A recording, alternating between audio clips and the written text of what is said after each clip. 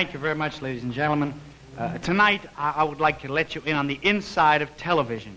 You know, uh, we have a lot of problems in television. For instance, learning a half-hour script each week, that's a, that's a bit of a job, you know. But we in television have a little system. We have little devices, little tricks that enable us to, to learn our lines, such as some fellows paint them on a blackboard so they can talk and then look, you know, very surreptitiously. And those other fellows, like there's one fellow I know, he writes everything on his fingernails.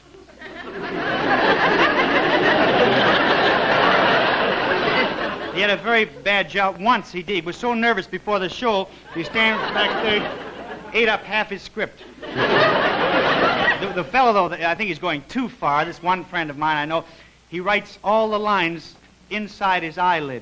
if you ever see an actor on television looking like this, he's not falling asleep, he's just memorizing his lines.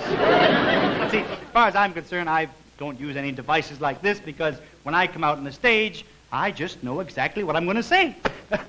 That's all there is to it, really. First joke. Ma'am, I just was fishing and I caught a doctor fish. Second man, what is a doctor fish? First man.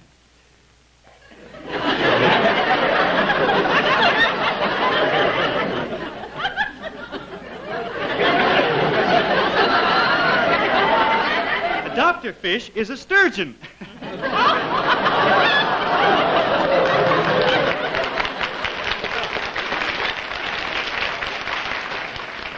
Gonna have this cuff laundered.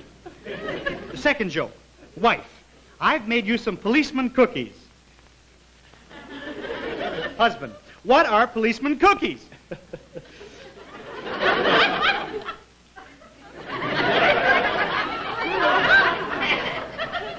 I knew he wrote it here somewhere. Said he was going to write the whole thing on here.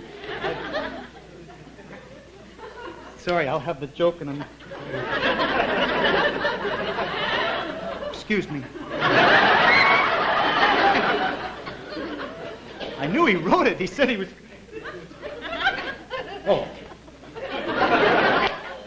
What are policeman cookies? Cop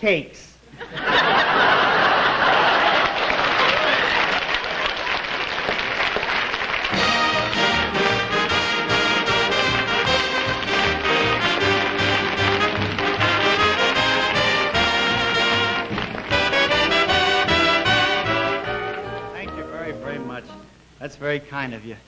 I thought I could carry it off and you wouldn't know that I was actually reading it. But I wasn't. Anyway, ah, I'm not reading anything, really. I'm, I'm just kind of thinking. See, I made a picture called Margie, and I was thinking the other day, I heard some music. It was back in 1928. I could just see it now. Remember 1928? Women used to wear the short skirts uh, and the, the dresses that no waist, you know, boom right down, and the close-fitting hats with the, with the curls up here. The fellows wore high jackets. I can see it now. And there was the Charleston dance there. Oh, I'd love to see that Charleston dance.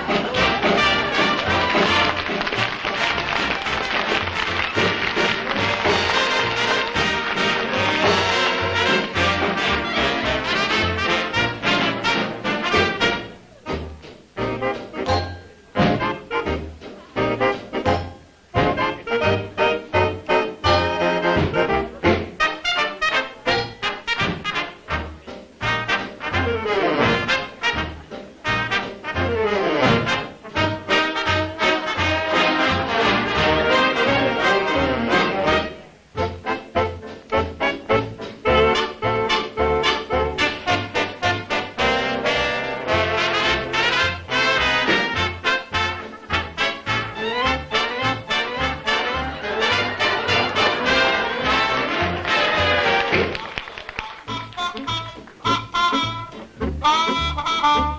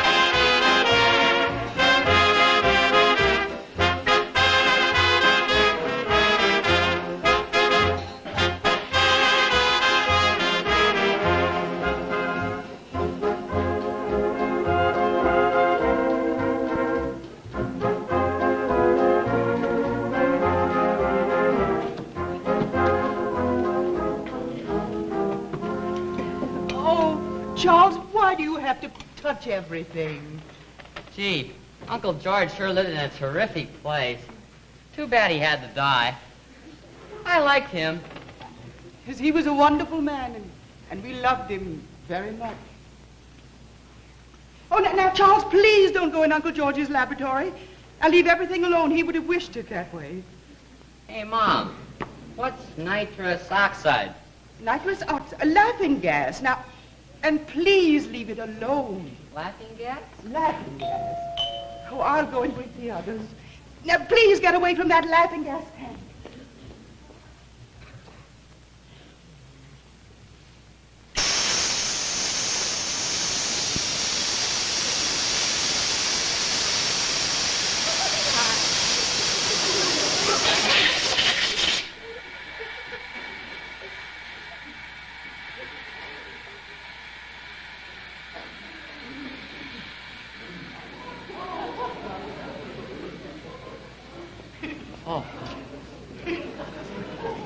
Mother, mother, mother, I. Oh, Charles, I this it's a is no over the this is no place for a young boy. Now you go and wait for me in the car. Yeah, but mother, there's something broken Will over the- you? I- no uh, back talk. Go and wait for me in the car.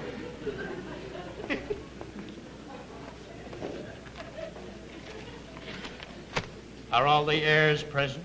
We all here but Alan, his favorite nephew.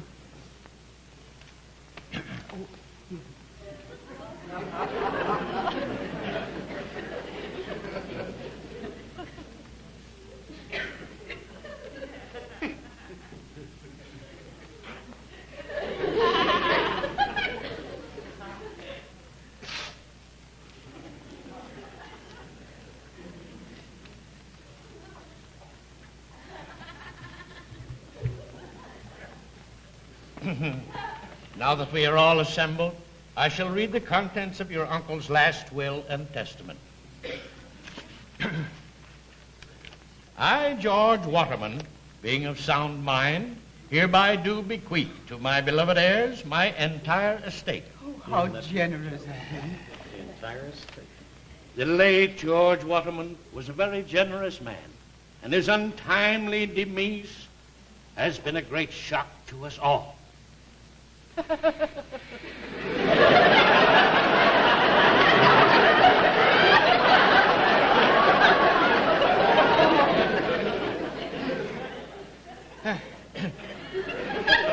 have been we have been a closely knit family, and now that I am gone, this is my solemn wish that you all continue in the same close association that we've had through the past. Even though I am not with you, your lives must still have the same dignity and purpose.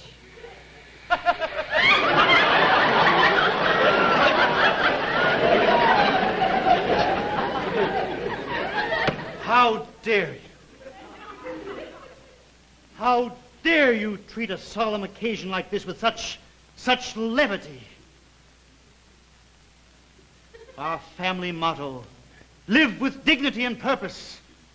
I'm only glad Uncle George isn't here to witness this, this outburst. Very well said, Alan. Thanks for all of us. Yes, Aunt Hildegard.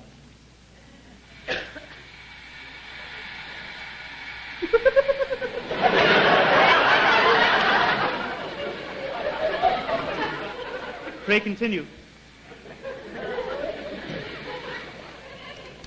To my niece, Henrietta, who has her own income, I bequeath my philosophy.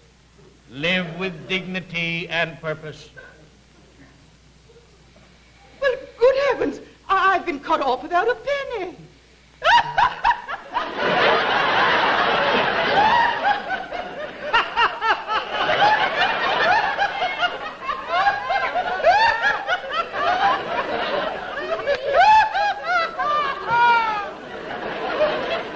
Uncle George would never have approved of this levity. I'm, I'm sorry, Aunt Hildegard. It, it will not happen again.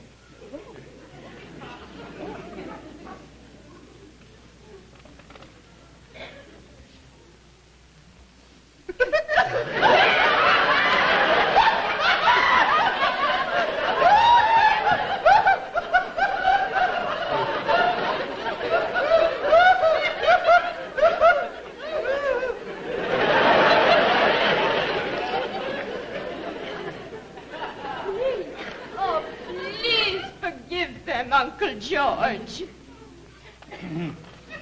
And now to my nephew Donald. I do hereby bequeath the worldly sum of $150,000. But I hereby instruct that this sum of $150,000 be immediately turned over by Donald to my favorite charity, the Missouri Home for Aged Chemists. In addition, Donald, I also bequeath to you our family heritage, a life of dignity and purpose.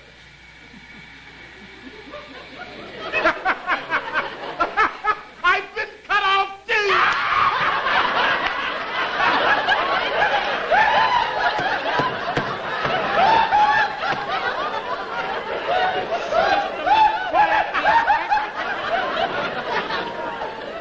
This is disgraceful. Must control yourself. Quiet!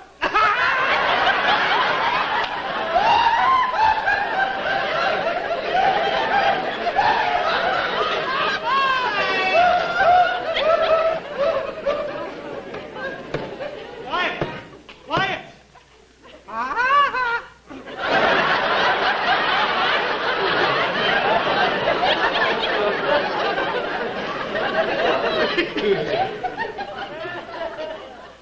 You're all acting like a bunch of silly school children. Pull yourselves together. Remember the family motto dignity and purpose.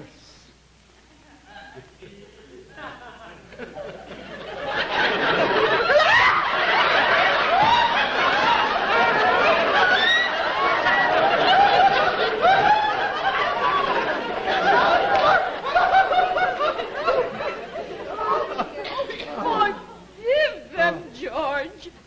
Why, why, I'm just too ashamed to speak.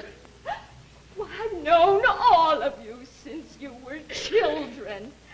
You're all people of education and good standing. And now, now at this moment of solemnity, you have injected this, this uncalled for hilarity. Even if your Uncle George does forgive you, I can't. I've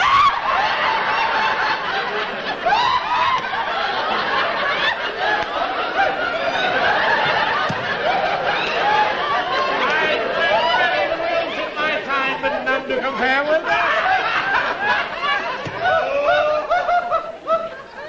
Enough! Enough! Enough!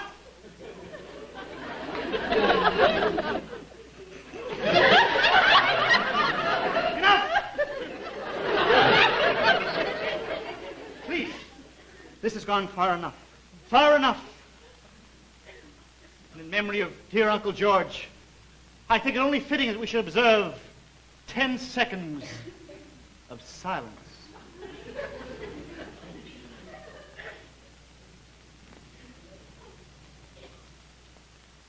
Ten seconds are up.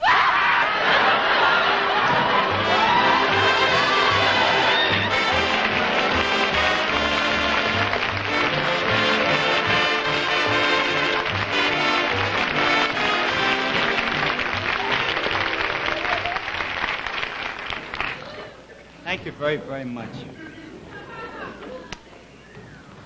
Hello? Hello, Al. How are you? Oh, I, I, I'm all right. Well, what's the matter? You look very unhappy. Well, I was just into a reading of a will, and I thought I'd get left quite a bit of the estate, and, well, Well, didn't you get anything? oh, got a few laughs. really, I had plans. I mean, I, when I got the money, I was going to buy a new suit, you know, a tuxedo, and a nice new car. And, and the main thing I was going to do, I was going to drive to Mocambo and, and see Monica Lewis. sing. Oh, were you really going to go to Mocambo and see Monica Lewis? Yeah, but now I just can't do it. Well, um, I have something to tell you. What? I am Monica Lewis. You are! Uh-huh.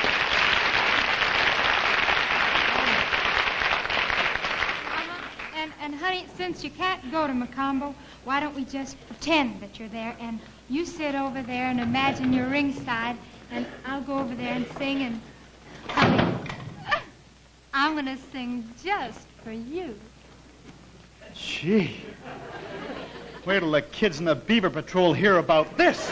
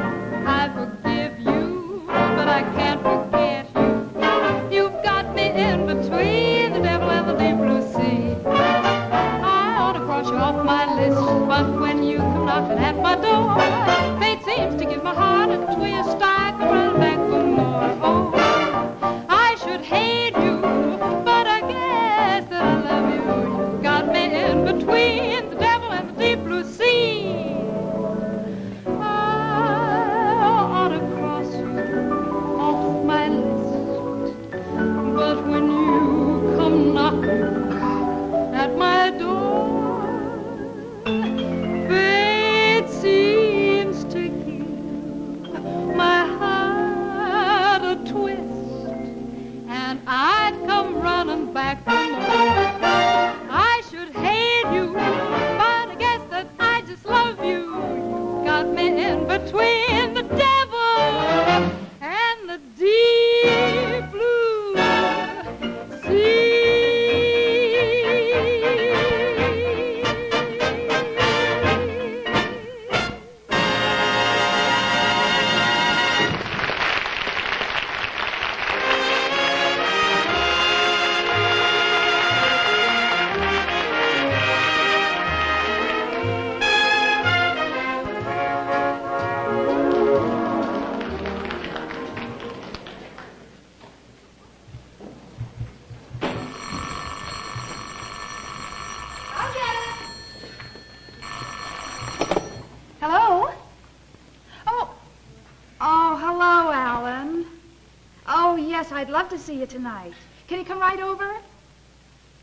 Well, Mom and Dad are here, and I've told them all about you.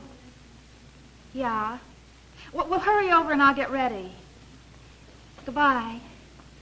Oh, Alan Young is on his way over. Oh, oh, will you entertain him until I get finished dressing? What's the matter with George? George is such a nice boy. He always brings me something when he comes over. And he helped your father fix the chandelier. He's such a nice boy. Yeah, he's uh, a businessman, too. He's got a head on his shoulders. Oh, please, Daddy, I'm not interested in George. Oh, well, who is this Alan Young? Well, I told you about him, Father. He worked in Messler's meat market. Is he the fellow that locked himself in the icebox? Well, it wasn't his fault. Mr. Messler pushed him. Yeah. Well, anyway, he moved from there and got himself a job in the bank.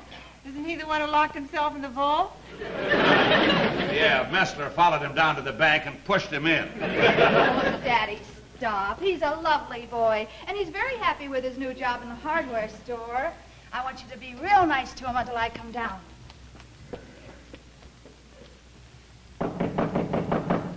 Come in.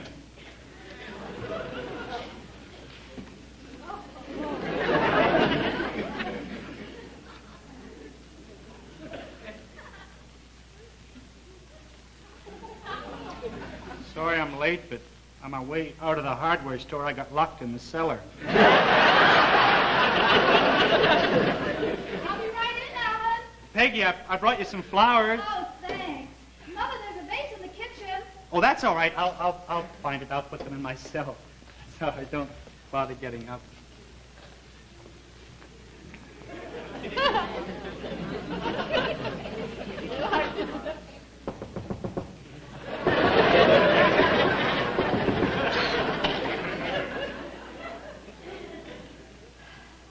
Henry, he's in the closet. Naturally.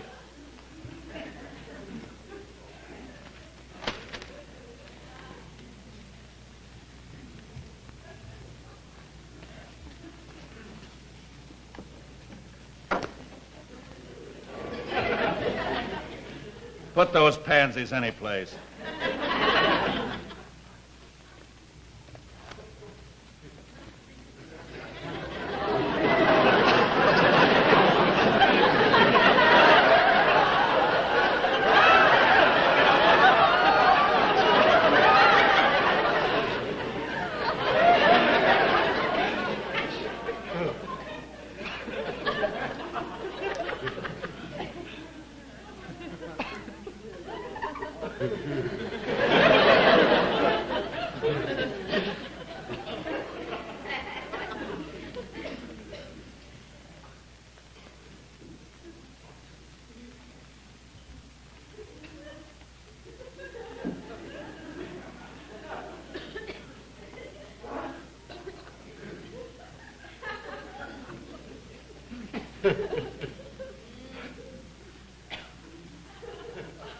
Two been married long?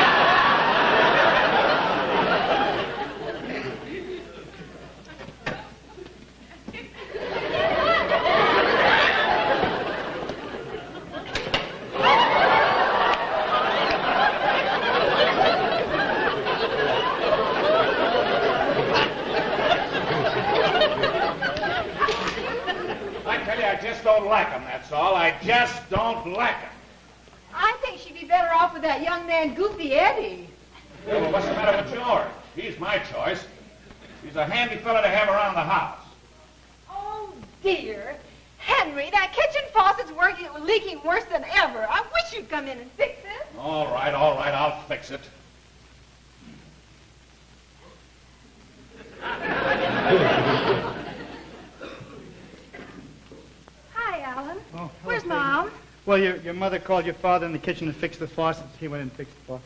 Oh, oh, well, then that's your chance to get in good with Daddy. Go in and help him like George always does. I never fixed a faucet in my life. Well, just show him that you want to be helpful.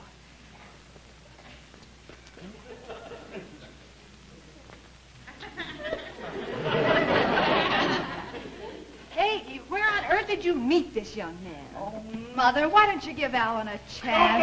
no, no, no, no, no, thank you. I'll keep away from that faucet,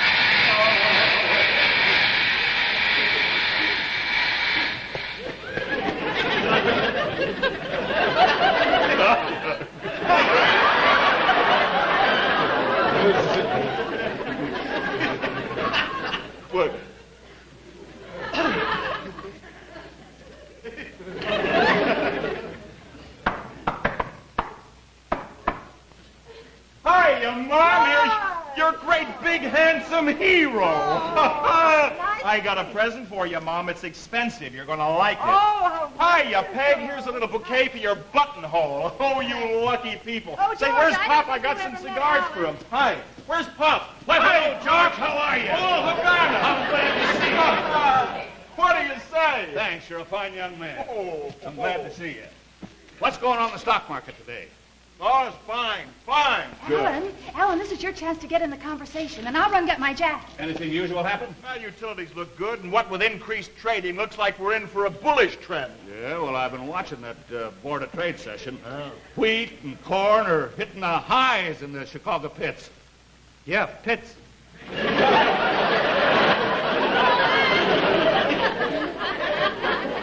What did you say? Pitts. You got a lot of nerve voicing an opinion in an interesting conversation like this. A mug that locks himself in an ice box. Locks himself in an icebox.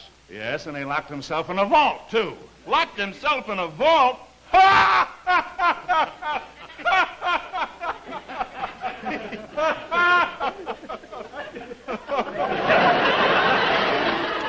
very simple. It was real silly. Only a person like me could do it. It was really very, very easy. Uh-huh, sure it was. I'd like to prove it to you if I could. Come on, you over here, see? Would you like to come? I'll show you what happened, see? The ice box was very simple. See, I opened the door. Well, I looked in, and Mr. Messler was it. Would you be Mr. Messler? Yes, He was in there, you see. I looked in, and I saw Mr. Messler. Uh, and right in. He was right in there. Oh, and his assistant was in there too, see, because I had a lot of things I was going to carry in, you see. So there, you, you just stand right there, see. Now, I was looking in. I have arms full. You see, I was standing like this. Give me a good push. You'll see how I went Good in. push, right. Yeah. See, I was standing just like this. And I, I just...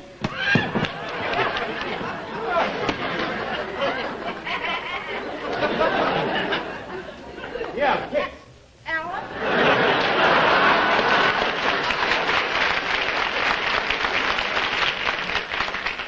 Where's Mom and Pop and where's George?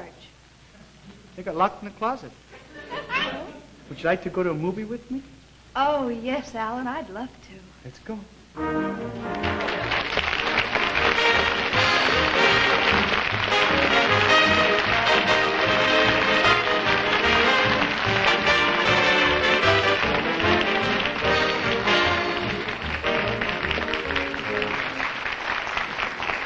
Thank you. Thank you very much. We'll be with you again next week at the same time. I hope you'll join us then. Thank you. Good night.